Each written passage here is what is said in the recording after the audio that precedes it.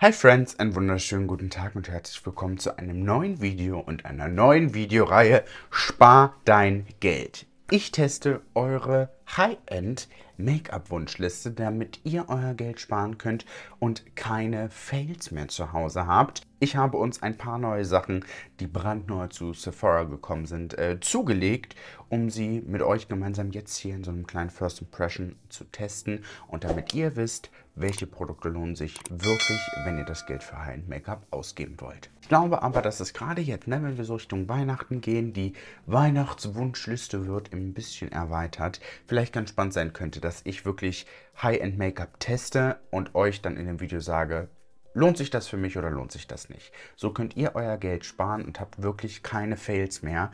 Und deswegen würde ich vorschlagen, starten wir in die erste Runde. Ich äh, freue mich, dass ihr heute wieder mit dabei seid. Ich möchte auch einfach gleich loslegen. Wir starten mit einem neuen Produkt von Fenty Beauty. Das ist die Ease Drop Lid. Die gab es ja schon als Foundation, als Ease Drop Foundation. Das ist jetzt aber ein All-Over Glow Enhancer. Und ich habe ihn in der Farbe Pink Pearl. Hier sind 36 Milliliter mit drin. Und ich muss sagen, ich mag das Packaging von der East-Drop Foundation sehr gerne auch. Die East-Drop Foundation ist eine sehr gute Foundation. Ich bin ehrlich, ich habe ihn schon geswatcht und ich war ein bisschen schock, weil ich mir was ganz anderes vorgestellt habe darunter. Auf den Promo-Bildern sah das Ganze wirklich aus wie ein Liquid Highlighter und ich dachte mir so, hm, okay, naja, Liquid Highlighter habe ich jetzt eigentlich genug und Meistens gibt man sich den drunter oder mischt den irgendwie in eine Foundation mit rein, aber ist es nicht. Das Ganze kommt in dieser Quetschtube und es steht auch drauf Shake Well. Und wir werden das Ganze auch wirklich noch eine halben Seite machen, denn ich habe noch eine neue Foundation, die ich testen möchte. Das Ganze kommt in dieser kleinen Quetschtube und ich swatche es euch ganz kurz mal auf der Hand. Das sieht auf den ersten Eindruck wirklich aus wie so ein Liquid Highlighter, aber sobald du ihn verblendest auf der Hand, verschwindet der und hinterlässt nur so einen Hauchglow. Also kein glitzeriger Glow. Ich habe ihn euch vor ein paar Tagen schon bei Instagram gezeigt. Das ist eher, ich würde es von der Konsistenz her wie so ein Serum beschreiben. So könnt ihr sehen, ja, das hat doch schon ein bisschen Bums, ne? Aber dann blendest du das in deine Haut ein und das hinterlässt keinen glitzerigen Schimmer. Und wenn wir uns die Seite einmal anschauen, die jetzt verhältnismäßig matt ist, und diese Seite hast du so einen Glow from within. Also kein glitzeriger. Ich habe keine Alternative dafür gefunden. Das ist ganz verrückt. Wenn ich jetzt sage beispielsweise der Elf Halo Glow, der hat eine Deckkraft, der hat Glitzerpartikel mit drin, der hat keine eigenen Glitzerpartikel drin. Das ist ganz, ganz, ganz verrückt.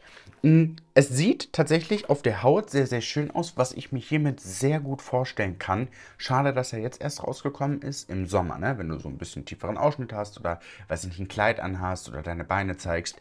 Das auf die Beine, weil dann hinterlässt es so einen Hauch an, uh, was hat sie benutzt? Hat sie eine Creme benutzt? Es ist alles so ein bisschen frisch.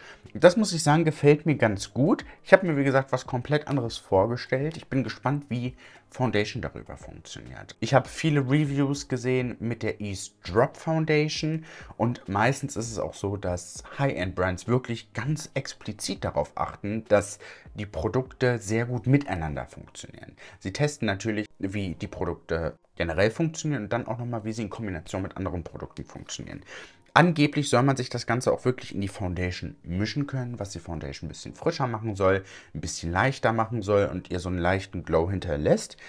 First Impression gefällt mir aber gut, weil es sehr subtil ist. Und jetzt wird spannend, Freunde, und jetzt wird es teuer. Denn ihr wisst, ich mag Hourglass-Produkte sehr gerne, weil ich der Meinung bin, dass sie es wirklich geschafft haben, die Arbeit mit Licht so ein bisschen im Make-up zu perfektionieren. Sie können ganz besonders mit ihren Produkten und ihren Formulierungen Licht streuen und das sieht, ich finde, in der Kamera immer noch schöner aus als in echt, aber es gibt wirklich tolle Produkte, die auch im Alltag wirklich die Haut sehr, sehr weich zeichnen und ich habe wochenlang nach dieser Foundation gesucht. Ich war im KDW, ich war bei Douglas, ich war bei Sephora, ich habe sie nirgendwo gefunden. Das ist die neue Ambient Soft Glow Foundation.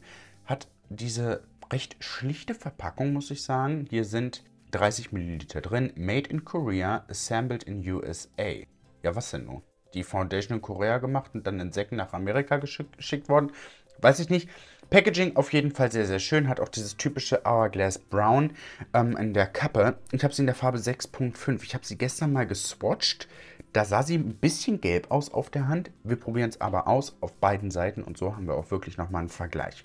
Die Foundation liegt bei 50 Euro. Das ist schon eine Menge. Auf der anderen Seite, im Vergleich zu Hourglass, geht schon wieder, was mich ein bisschen gewundert hat.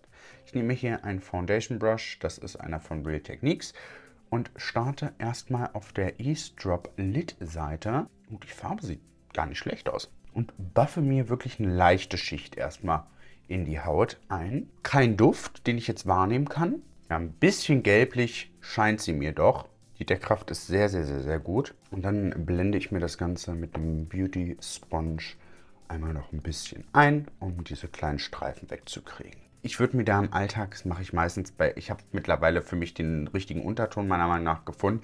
Ich mische mir immer ein bisschen Blush mit rein und dann passt das vom Unterton ein bisschen besser, weil ich immer einen recht geröteten Hals habe und dann sieht das immer nicht ganz so unpassend aus. First Impression auf der Haut, Deckkraft mehr als gedacht finde es gut, dass sie nicht parfümiert ist. Das muss man sagen. Bei den meisten High-End-Produkten ist es so, dass sie sehr stark parfümiert sind. Ich habe sie mir aber glowiger vorgestellt. Also ich hole euch mal ein Stückchen heran. Das ist die Soft Glow. Ah, doch, würde passen, ne? Soft Glow. Hm. Einmal ganz, ganz, ganz, ganz nah, sodass ihr das Hautbild gut erkennen könnt. Man sieht tatsächlich nichts dass man was drauf hat. Ich finde, je länger sie auf der Haut sitzt, desto glowiger wird sie, weil die Wärme natürlich auch noch ein bisschen mit der Foundation arbeitet. Hier im Vergleich ist es alles so ein bisschen unebenmäßig, aber hier recht gut ausgeglichen. Die Farbe stört mich jetzt ein bisschen in der Kamera. Hier im Alltag geht es tatsächlich sogar. Wir machen mal die andere Seite. Sie haut mich jetzt tatsächlich nicht so um, aber ich glaube, das ist ein grundlegendes Problem, was ich habe, weil ich halt wirklich viele Drogerie-Foundations mittlerweile auch schon getestet habe. Und ich weiß, dass es sehr, sehr gute Foundations in der Drogerie gibt. Sie erinnert mich ein bisschen vom Finish, jetzt weiß ich es auch, an die True Skin Foundation von Catrice. So vom Mattigkeits- und Glowy-Effekt, wenn ihr wisst, was ich meine. Wir lassen sie jetzt mal ein paar Minuten auf meiner Haut und machen mal ein bisschen weiter, denn ich habe mir vor zwei Wochen was gekauft, was ich gesehen hatte bei Fenty Beauty. Das sind die Match Sticks und die gab es in neun Farben. Und ich habe sie in Rose Quartz gekauft und ist mir viel zu hell gewesen für unter die Augen. Das sollte so ein bisschen wie ein ja, Under Eye Corrector sein. Er hat einen schönen Pinkstich, er ist für mich aber zu hell. Wir benutzen den aber dennoch gleich. Ich zeige euch nämlich, was ich damit gemacht habe. Und dieses Ding ist wirklich krass. Ich habe die noch nie benutzt. Erstmal Packaging wirklich schön. Ich habe mir den jetzt auch nochmal gekauft in der Farbe Amber Sweat in 09. Ein Contouring Stick. Ihr seid ja immer ganz scharf auf Contouring Sticks. Es fühlt sich ein bisschen cheap an, muss ich sagen, im Vergleich zu den anderen Fenty Produkten. Also recht leicht. Aber wir probieren den Contourton als erstes aus.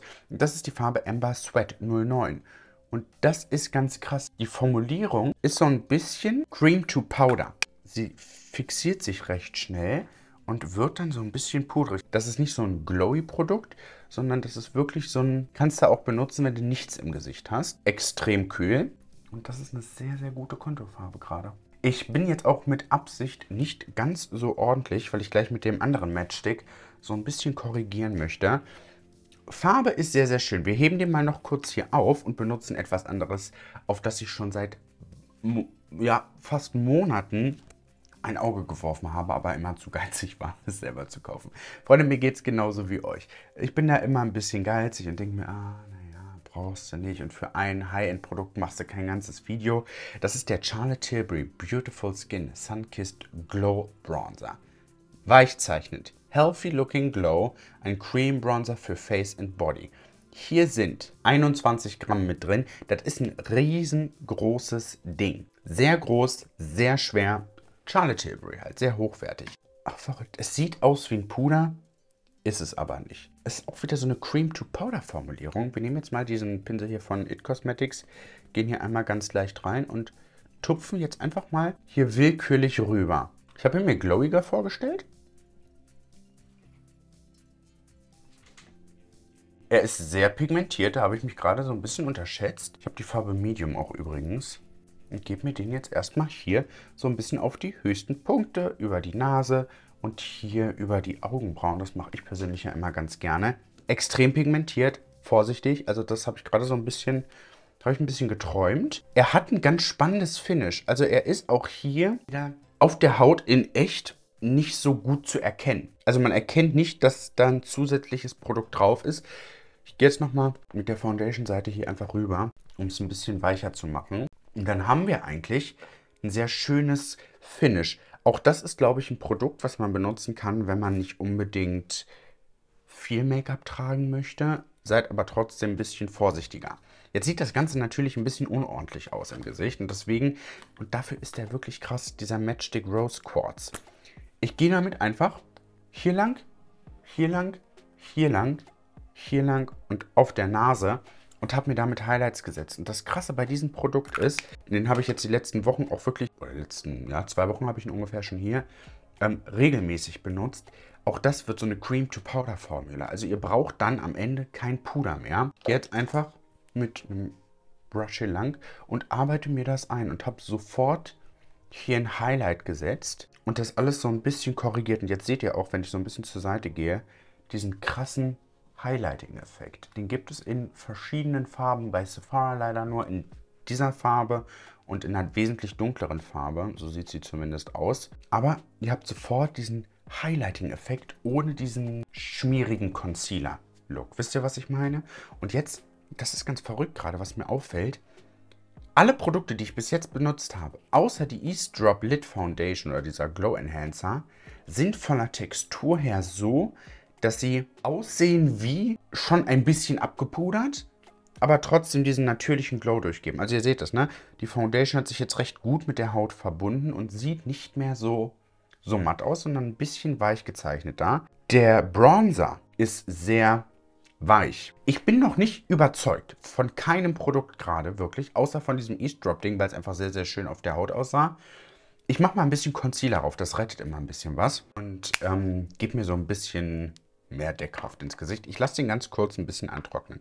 Also ihr seht es jetzt auch, ich kann den Matchstick immer noch verblenden auf der Hand, aber sobald ich den verblendet habe und der sich so ein bisschen eingearbeitet hat, wird der sehr, sehr pudrig. Also es ist ganz, ganz, ganz, ganz spannende Textur und da sieht man tatsächlich so ein bisschen noch, und das, das ist mir ganz wichtig, dass wir einmal da kurz drüber gesprochen haben, der High-End-Beauty-Markt gibt dem Drogeriemarkt die Trends vor. Es ist meines Wissens nach noch nie vorgekommen, eine Drogerie-Beauty-Brand ein Produkt diktiert und High-End-Brands das Ganze kopieren. Zumindest so nicht, dass ich wüsste.